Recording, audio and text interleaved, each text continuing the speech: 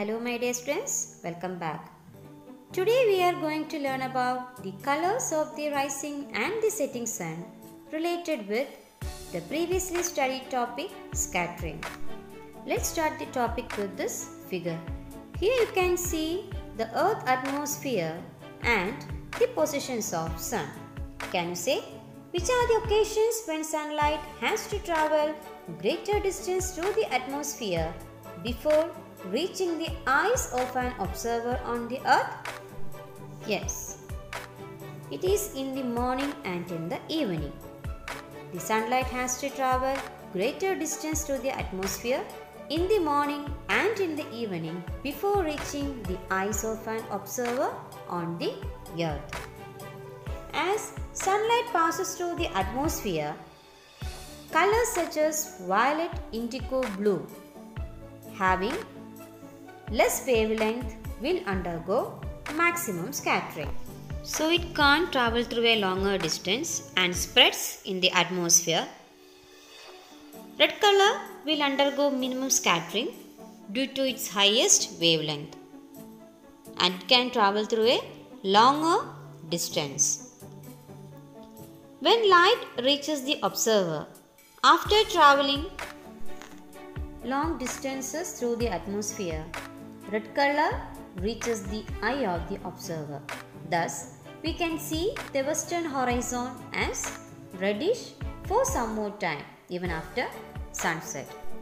So let's see in detail why the sun appears red during sunset and sunrise. During sunrise and sunset, light reaching us from the horizon has to travel long distances through the atmosphere. During this long journey, colors of shorter wavelength would be almost fully lost due to scattering. Then, the red light which undergoes only less amount of scattering decides the color of the horizon. That is why the sun appears red during sunset and sunrise.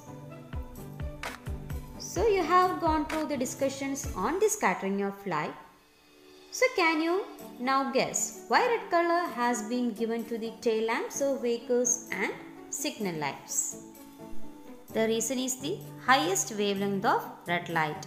Due to the highest wavelength, the red light scatters less and can travel through a long distance without any scattering.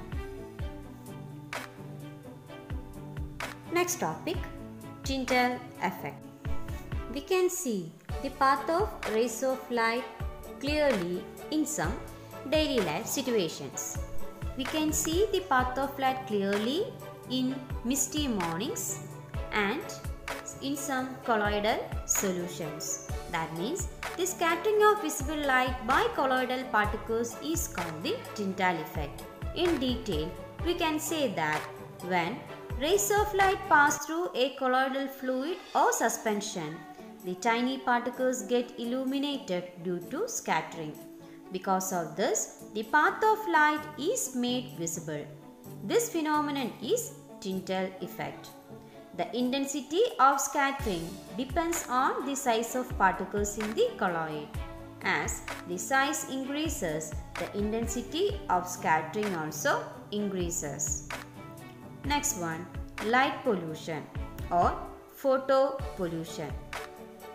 The use of light in excess in a non-judicious manner is referred to as light pollution.